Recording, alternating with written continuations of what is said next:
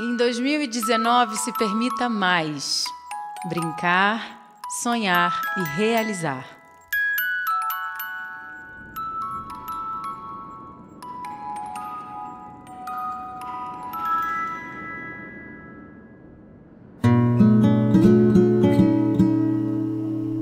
Quando eu era pequena, eu gastava bastante tempo imaginando como seria ser uma astronauta. A minha cidade é muito conhecida por cana-de-açúcar empresa. Eu sonhava com o universo. E eram duas coisas bem distantes, né? Alguns anos-luz de distância.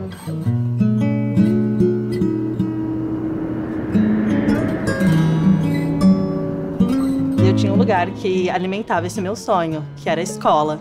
Eu participei de uma Olimpíada, a Olimpíada de Astronomia, e consegui uma medalha de ouro.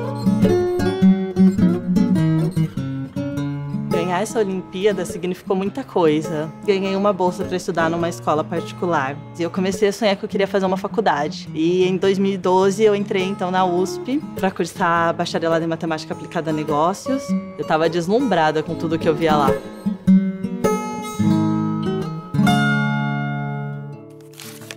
Mas também tinha um outro lado desse bem acadêmico, que é a questão do preconceito. Nada ali me representava, nem em relação à minha classe socioeconômica, nem em relação à minha cor.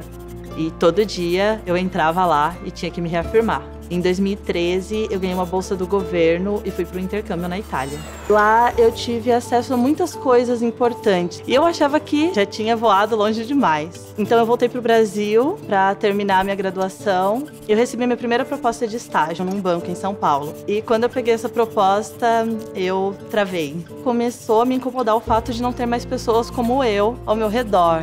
Uh, pessoas vindas da periferia, mais mulheres, mais pessoas negras que eu precisava arranjar uma forma de chegar até elas e dizer que era possível. Foi por isso que concluí a faculdade e fui ser professora na periferia do Mato Grosso do Sul, numa escola pública. Eu acho que o fato de estar ali com uma pessoa bem próxima deles, de uma realidade bem próxima deles, já faz com que eles se sintam é, motivados. Parece que você está falando sobre isso, eu sei que você realmente sabe como é passar por isso. Eu ainda sonho que todos e todas vão ter acesso a essa educação que realmente transforma e de forma bem diversa, que todo mundo vai olhar para os lados e realmente se reconhecer, que ninguém vai se sentir fora do lugar.